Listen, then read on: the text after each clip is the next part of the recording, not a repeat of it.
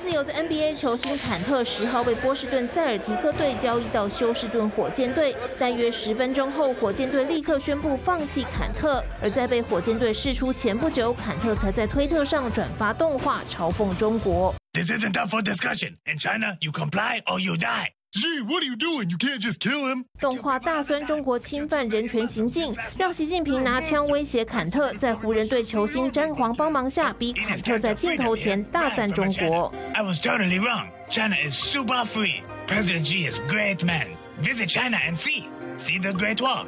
Download TikTok. Give China your information. 中国前球星姚明整个 NBA 生涯都在火箭队度过，加上坎特曾经因为呛中国，导致塞尔提克队赛事被中国腾讯体育下令停播。虽然火箭队没有说明原因，但坎特若加盟火箭，对中国市场势必造成一定冲击。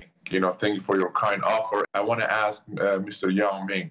Will I be able to visit Uyghur slave uh, uh, labor camps? 被火箭队放弃后，坎特只能在赛季剩下时间寻求和其他球队合作。而他个人推特最新发文，只意味深长地写了一句：“全世界都会大为震撼。”而身为少数公开为人权发声的职业球星，坎特的下一步备受外界关注。华视新闻刘敏编译。